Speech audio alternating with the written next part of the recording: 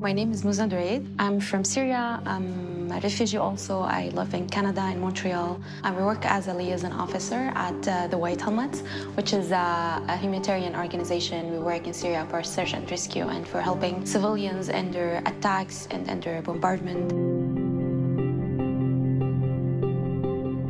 People who are inside Syria founded this team to search and rescue people from under rubbles of the destroyed building. We have multiple uh, projects like firefighting, demining the soil, and also uh, women centers, which is like we provide services for women and children in Syria.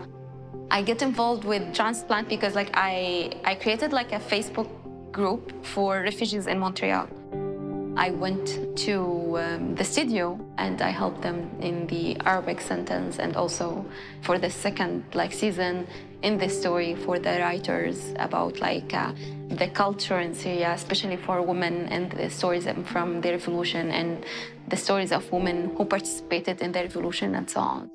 It's very good to educate people and like to give them the knowledge about the struggles of refugees. Even here in Canada, it doesn't like end here, but it's like there's like a, a, a lot of uh, difficulties to starting over here from zero.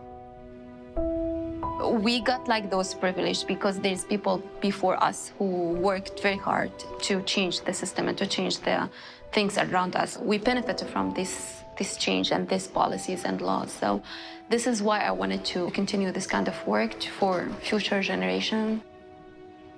I hope like to be involved more in politics because you know personal issues it's it's political at the end of the day everything we are even the water that we are drinking it's a political issue so I'm now pursuing my master degree in public policy and public administration in political science which is about Canadian politics also uh, to to know more and to understand more about the politics in Canada and also uh, the system and like um, how I can contribute and uh, and uh, change things around us.